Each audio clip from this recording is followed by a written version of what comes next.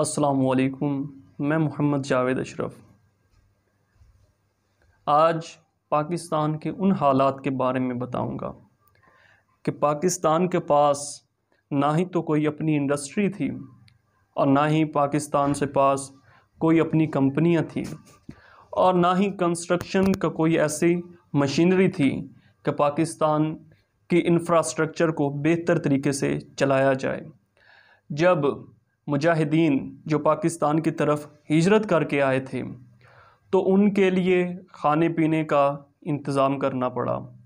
और उनके रहने के लिए भी बहुत सी मुश्किल दरपेश आईं।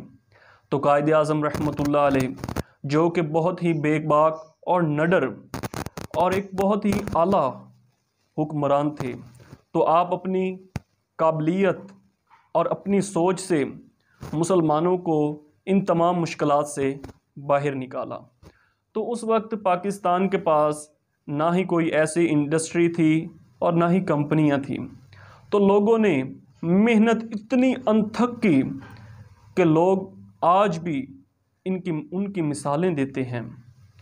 जब पाकिस्तान हिंदुस्तान से अलहदा हुआ तो जितनी भी कंपनियाँ थी और जितनी भी इंडस्ट्रियल सेक्टर थे, वो तमाम हिंदुस्तान में इंडिया की तरफ़ आ गए। क्योंकि जो भी उन्होंने, अंग्रेज़ों ने इंडस्ट्री बनाई, वो तमाम भारत में बनी। और पाकिस्तान में ऐसी कोई इंडस्ट्री मौजूद नहीं थी, जिसमें काम करके लोगों को ज़र मुआश दिया जाए और उनकी माली हालत को बेहतर किया जाए और पाकिस्तानी सनत हरफत को आसानी से चलाया जाए। तो कायद अज़म रहमत ने मुसलमानों को बताया कि अब हमने अपने काम पर, बस काम काम पर ही तवज्जो देनी है। और जैसे भी हो, हमने अपने मुल्क के पहिए को पटली पर लाकर खड़ा करना है। तो लोगों ने आपकी आवाज़ पर यक ज़ुबाँ होकर जवाब दिया और दिन रात मेहनत की। तो इस तरह पाकिस्तान तरक्की करता गया। और जब 1955 तक पाकिस्तान के हालात इतने बेहतर हो गए कि पाकिस्तान ने दूसरे कई ममालिक को कर्ज़ भी दिए, जब वो लोग देखते कि पाकिस्तान इतनी तेज़ी से तरक्की कर रहा है तो उन्होंने सोचा कि हो सकता है कि अब ये दुनिया का नंबर वन मुल्क बने।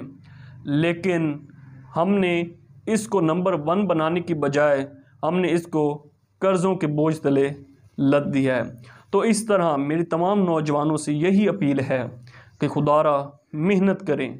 नौकरी के बजाय आजकल नेट पर बहुत सी फैसिलिटीज़ आपके पास मौजूद हैं।